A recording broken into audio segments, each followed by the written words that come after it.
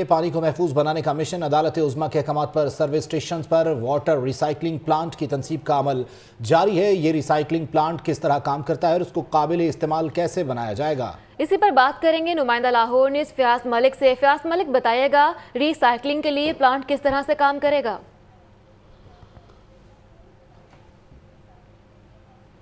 बिल्कुल नीलम recycling plant का जो सिलसिला है वो शुरू हो गया है। अदालत उजमा के हुक्म से पानी को महफूज बनाने के हवाले से शहर में वाक़ सर्विस स्टेशन पर रिसाइकलिंग प्लांट की तनसीब का जो सिलसिला शुरू हो गया। मैं इस वक्त मौजूद हूँ लिटन रोड के एक सर्विस स्टेशन पर यहाँ से मैं आपको बताऊँगा। आप ये देख सकते हैं कि ये गंदा पानी है जो कि मोटरसाइकिलों को धोने के बाद यहाँ पर जमा हो रहा है।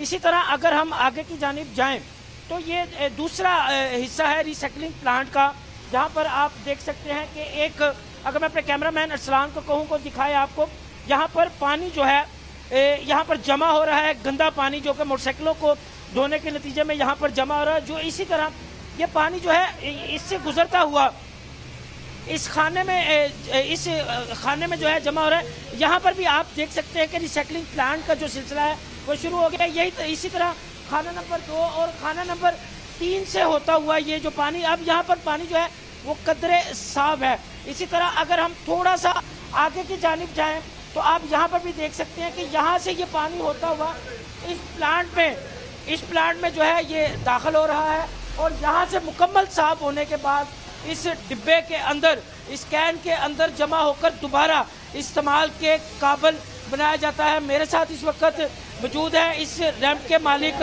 मलक नाजम। हम उनसे पूछे, नाजम, बताइएगा इस प्लांट की तनसीब के हवाले से रिसाइकलिंग प्लांट ये आपने कैसे इसको तनसीब किया और इसको अब आप कैसे अपने काम में ला रहे हैं? इसको हमने ऐसे तनसीब किया कि हम ये को कंस्ट्रक्शन का काम थोड़ा समझते हैं। ये पुराने ज़माने में होती थी गर्कियाँ पानी सेव करने के लिए। गंद नीचे रह जाता था। फिर हमने उस हिसाब से ये हमने, आपने दिखाया ना कैमरे की आँख देख रही है कि सीवरेज का पानी इन टैंकों में जा रहा है।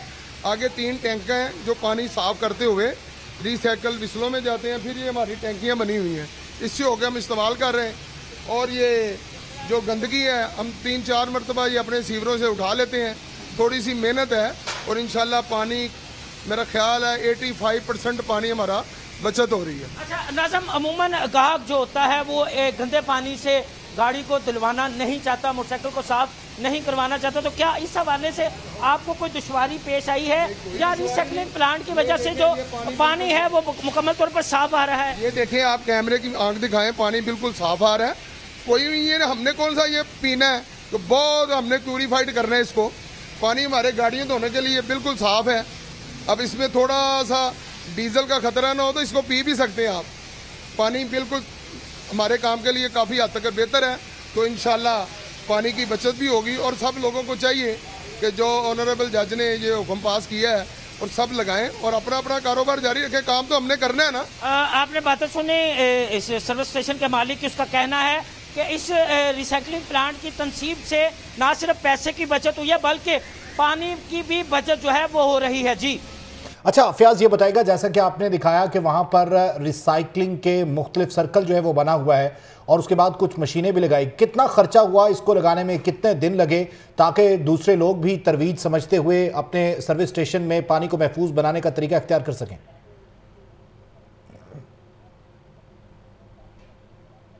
तारीख एक पहले मैं आपको ये बता दूँ कि ये शहद का पहला सर्विस स्टेशन है जहाँ पर अभी बाकायदा तौर पर रिसाइकलिंग प्लांट की जो है वो तनसीब का अमल मुकम्मल हुआ है और ये रिसाइकलिंग प्लांट तकरीबन पंद्रह दिन में मुकम्मल हुआ है और इस पर आठ से दस लाख रुपये का जो खर्चा है वो आया है। आ, मैं एक बार फिर अपने कैमरामैन को कहता हूँ कि आपको दिखाए कि पानी का एक बड़ा टैंकर है उसके साथ ठीक है। फयाज मलिक बहुत शुक्रिया आपका इस हवाले से आगाह करने के लिए। बता रहे थे फयाज मलिक शहर में पहला वाटर रिसाइकलिंग प्लांट लगा दिया गया है सब स्टेशन पर और इस वक्त आप ये मनाजिर देख रहे थे।